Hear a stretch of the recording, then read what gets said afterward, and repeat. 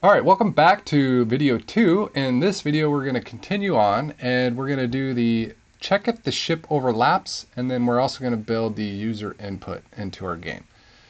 So I will, uh, I've already demoed those in the first one, but I'll re-demo those as we build them. So let's get started. Now we're going to build the check if ship overlaps. So I'll explain how this one works. All right, we are still on the computer turn. So the way that after it fits, okay, we got a good fit. Now we're going to check to see if it overlaps. So we have the board that we're passing it, the row, the column, the orientation, and the ship length. We've done all that. So now let's go ahead and build this ship overlaps function down here. All right, so just like you saw uh, above, board, row, column, orientation, and ship length. We need all those. So what we're going to do first is check to see if the orientation is horizontal. So if it's horizontal, we're going to run this. If it's vertical, we're going to run this. Essentially the same thing, but the other direction. So we're going to do a loop. We're going to look through the range of the board and we're going to start with columns. So the column that we gave it, let's say that we gave it zero, and then we're going to take the ship length. So column plus the ship length. Well, let's say that we give it a higher number, like five. And then we got to add two to that. So five plus two is seven. So we're going to start and stop. We're going to start at five, and then we're going to go to seven. And we're going to loop through those and see, is there an X? Because if there is, then there is already a ship there and we can't place it. So what we're going to do is check to see in that row if there's an X, and we're going to return true. Essentially what we're saying is there is already a ship there, it overlaps. Same thing with vertical, just like that. So for i in range, we're going to loop through row. So same concept, let's say our row is 7, and our ship length is 2. Oh, that'd be too high. We'll choose 5 again, plus our ship length is 7. So we're going to start at 5, go to 7, check to see if there's an X right here. And that in that column, if there is, return true, and we're going to have to try it again. Ideally, what we want is return false. So that false means there's not a ship overlap. So we come back up here and we say if false, then we'll go ahead and continue. And now we can start placing our ship. So let's do that. So if we Check again, this is similar to before. First we're going to check if it's horizontal or vertical. So if it's horizontal, we're going to execute this. If it's vertical, we're going to run this. So horizontal, we want to loop through, similar to what we did before, the placing of the board, same kind of concept. We're going to start at the column, we'll say 5. We're going to go through the column plus the ship length, so we'll say 5 plus 2 is 7. So we're going to place an x, that's single equal, 5, 6, and uh, Actually, that's exclusive, so just on 5 and 6. Same thing vertical, we're going to do is place an x. We'll, we'll say 5 here. We'll say 5 plus 2, so from 5 to 7. So it would be 5 and 6. And then once we're done, we're going to break out of that loop. And in this case, the computer has placed all, it'll loop through until it places all the ships in length of ships. Okay, so that's the that is the computer. And essentially we're going to do the same thing except for now we need to add the user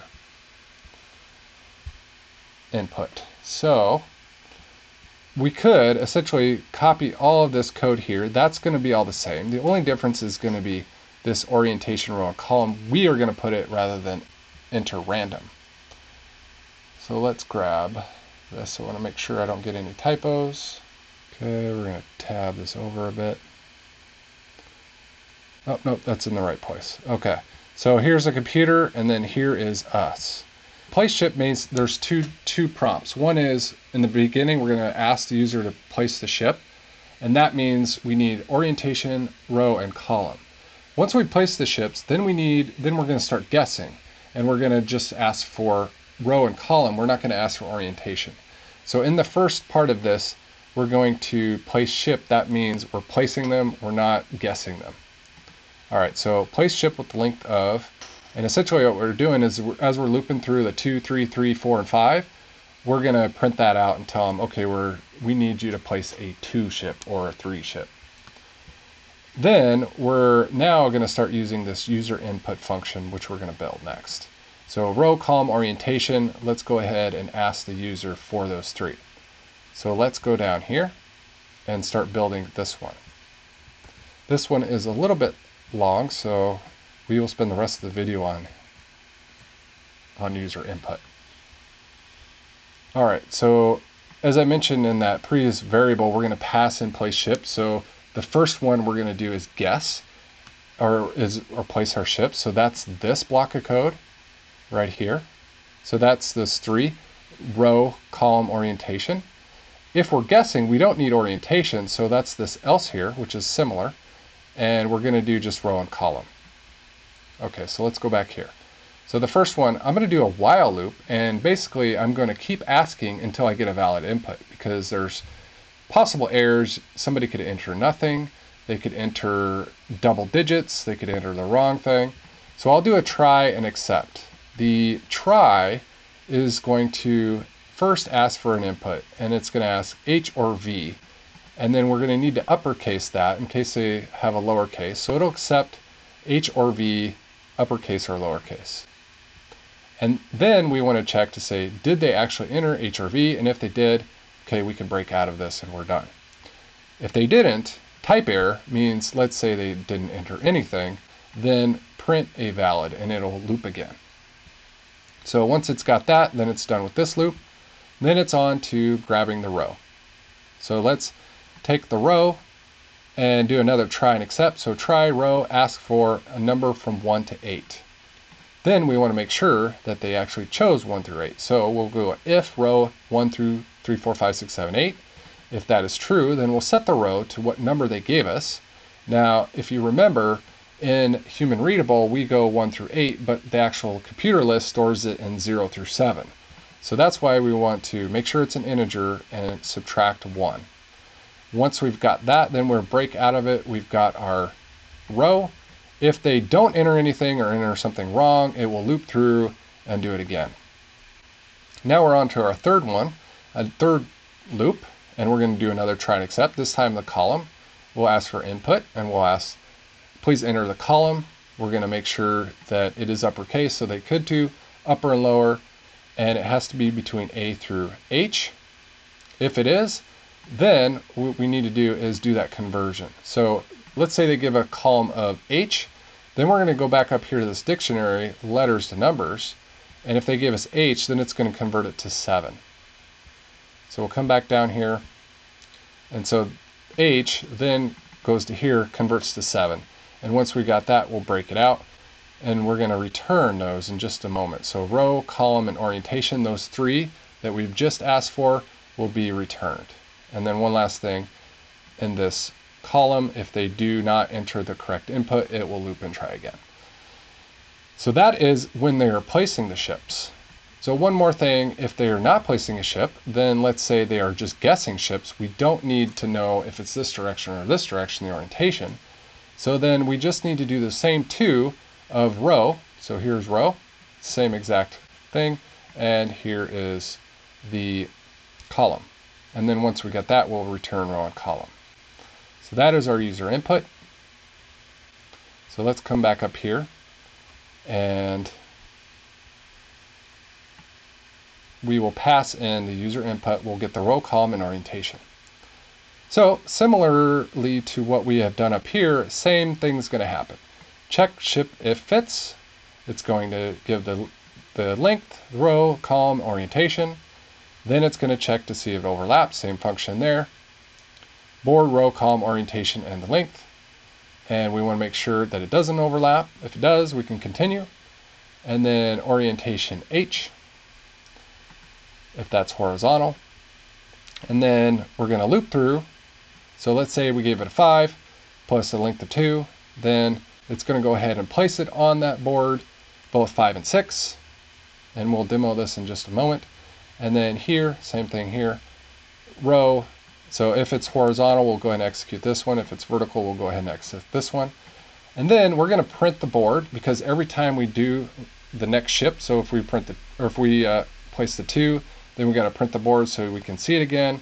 Then we'll place the three ship, print the board, and we'll go through and break when we're all done uh, placing that ship, and then we'll come back up here and continue our loop until all ships are done. All right, let's go ahead and do a demo on this one, and then we'll be done with this video. So I think, yeah, just running it in the debugger. Let's go ahead and, uh, yeah, we'll just uh, break it at when it places the ship. So we'll do a horizontal. All right.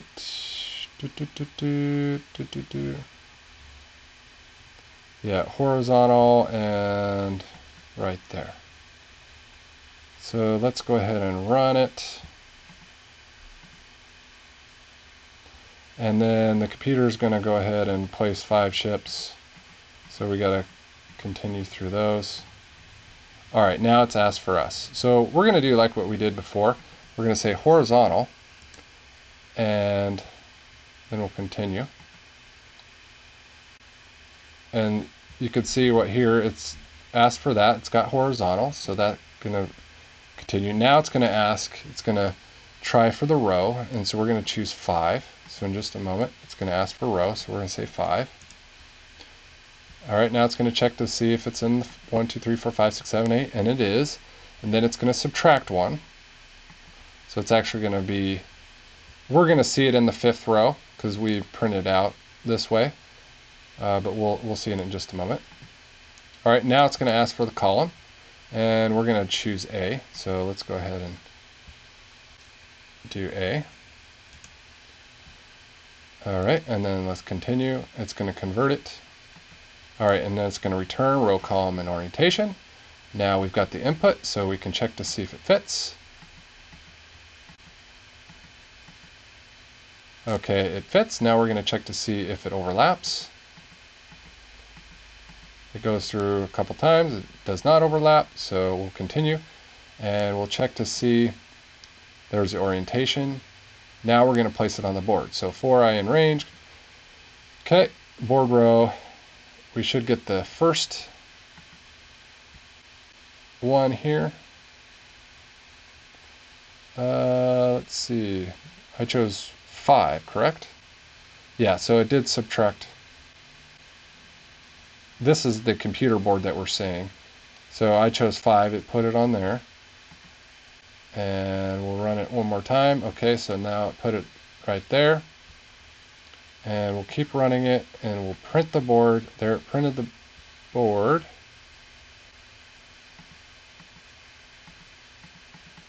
okay we'll see it in here just one second okay